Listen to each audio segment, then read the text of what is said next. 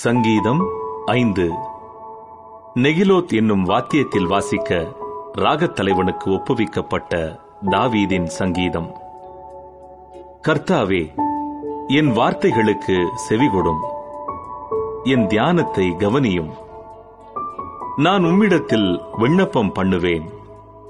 என் ராஜாவே என் தேவனே என் வேண்டுதலின் சத்தத்தை கேட்டருளும். கர்த்தாவே காலையிலே என் சத்தத்தை கேட்டருளுவீர். காலையிலே உமக்கு நேரே வந்து ஆயத்தமாகி காத்திருப்பேன். நீர் துன்மார்க்கத்தில் பிரியப்படுகிற தேவன் அல்ல.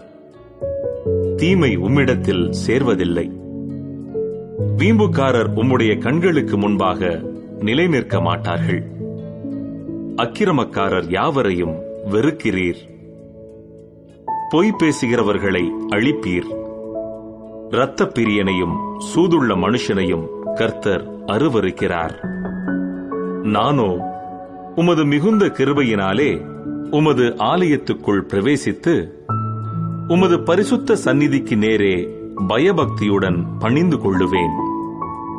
கர்த்தாவே என் சத்துருக்களின் நிமித்தம் என்னை உம்முடைய நீதியிலே நடத்தி எனக்கு முன்பாக உம்முடைய வழியை செவ்வைப்படுத்தும். அவர்கள் வாயில் உண்மை இல்லை. அவர்கள் உள்ளம் கேடுபாடுள்ளது. அவர்கள் தொண்டை திறக்கப்பட்ட பிரேத குழி. தங்கள் நாவினால் இச்சகம் பேசுகிறார்கள். தேவனே அவர்களை குற்றவாளிகளாக தீரும். அவர்கள் தங்கள் ஆலோசனைகளாலேயே விழும்படி செய்யும். அவர்கள் துரோகங்களினுடைய திரட்சியின் நிமித்தம் அவர்களை தள்ளிவிடும். உமக்கு விரோதமாய் கலகம் பண்ணினார்களே. உம்மை நம்புகிறவர்கள் யாவரும் சந்தோஷித்து எந்நாளும் கெம்பீரிப்பார்களாக. நீர் அவர்களை காப்பாற்றுவீர். உம்முடைய நாமத்தை நேசிக்கிறவர்கள் உம்மில் களி கூறுவார்களாக.